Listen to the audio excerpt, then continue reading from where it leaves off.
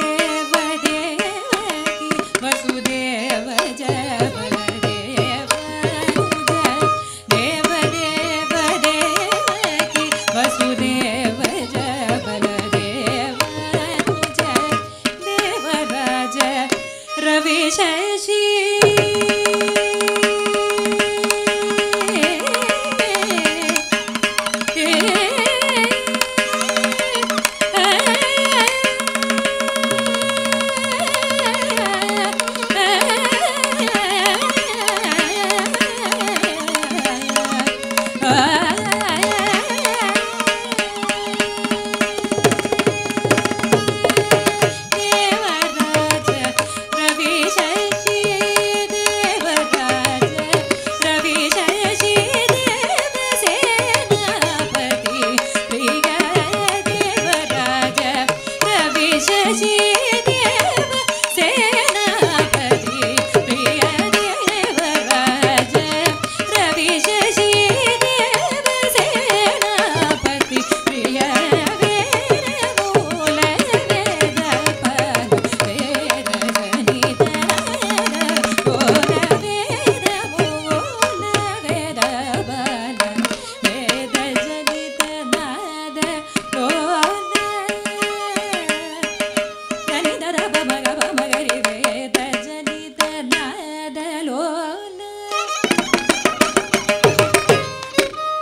then he said